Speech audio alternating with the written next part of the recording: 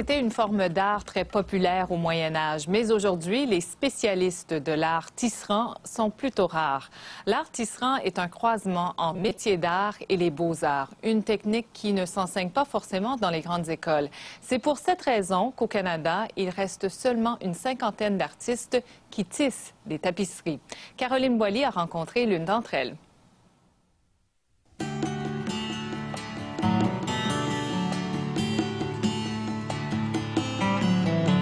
Vivons dans une société qui valorise la vitesse. Et ça, c'est un métier, une forme d'art que tu peux pas pousser, ça, ça prend du temps. Ça prend du temps. C'est lors d'une exposition itinérante présentée à Ottawa dans les années 60 que Thomas Ewan découvre la tapisserie.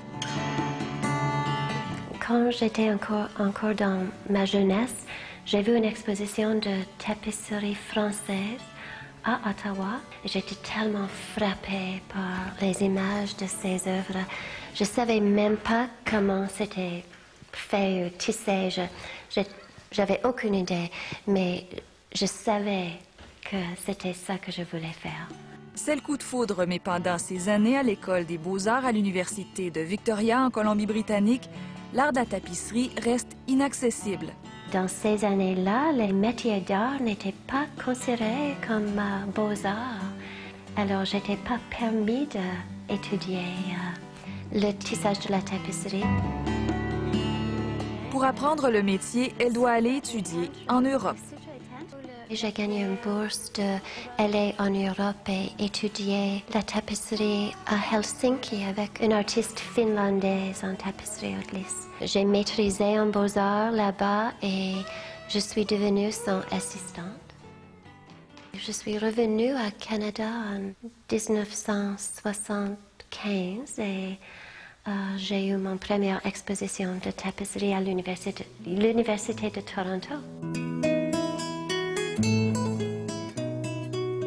L'art de la tapisserie demeure marginal. C'est un travail où la patience est essentielle. Ça va prendre au moins trois mois. Trois mois sans interruption. Thomas Ewan s'est bâti une solide réputation et ses œuvres ont été exposées partout en Amérique. Ils étaient euh, exposés partout au Canada et euh, aux États-Unis, Guatemala, Venezuela, oui. Je tisse avec la laine sur une chaîne de coton. Une de mes spécialités, peut-être, c'est comment mélanger les couleurs, comment créer les couleurs. Pour moi, c'est comme la peinture. Tu prends pas juste peinture en bleu, rouge, tu les mélanges et je fais la même chose avec la laine. Puisque le processus de création est long, l'inspiration doit être forte. Pendant des années, je me promène dans la forêt et je regarde les arbres et le soleil. Et j'avais réfléchi pendant des années comment est-ce que je vais faire ça? Et cet automne, j'avais fait une petite série de dessins, juste comme ça, avec le, le soleil qui, qui tombe entre les arbres. Plusieurs de ces tapisseries sont des commandes de collectionneurs privés, surtout des régions d'Ottawa et de Toronto. Dans ces cas-là, l'inspiration est moins instantanée, puisqu'elle doit travailler avec les désirs des acheteurs. Des fois, j'ai une idée, c'est tellement, tellement fort que je fais une petite croquis et je commence immédiatement.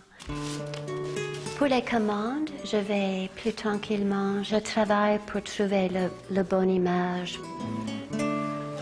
C'est pour une commande et la madame aime beaucoup les fleurs et les couleurs rose, jaune, vert.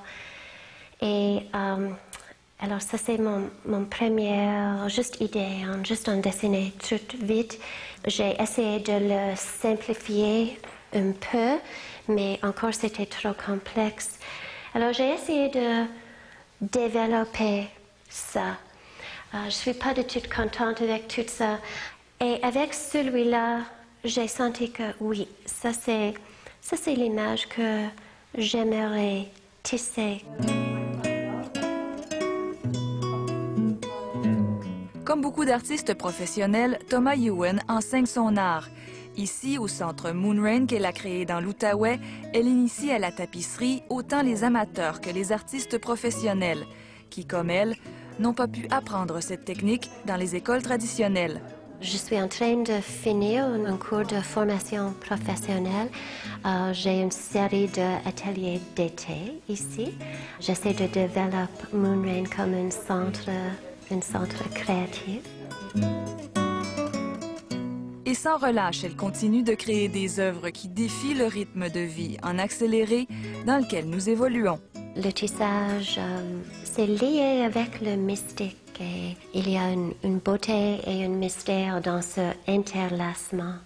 Euh, cet interlacement euh, est, est vieux, est tellement, tellement vieux. Euh, dans les légendes amérindiennes, c'est c'est comment le monde était créé avec ce même interlacement. Ça m'inspire et après 30 ans, c'est encore plus beau qu'il y a 30 ans. Caroline Boilly pour Panorama, dans la région de l'Outaouais.